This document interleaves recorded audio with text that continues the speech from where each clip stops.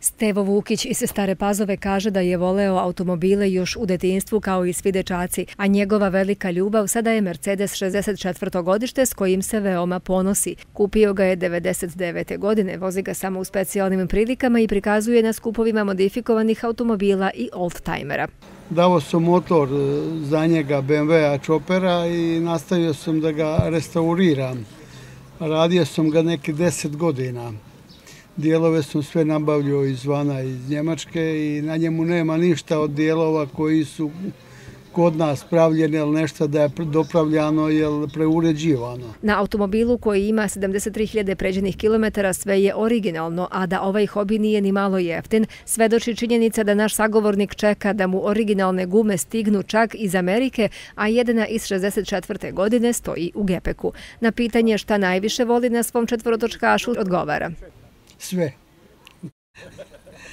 Na njemu volim sve, to je auto šest sjedala koji je vrlo rijedak. Kod nas sa pet ima, ali sa šest ima jak mali broj. Leto je vreme kada su ljubitelji modifikovanih, unikatnih i zanimljivih automobila najaktivniji, a sve ih je više i u staropazovačkoj sredini. Ovih letnjih dana obilazimo skupove, pripremamo kola, e, lickamo kola, peremo, sređujemo, dotezujemo, svašta nešto.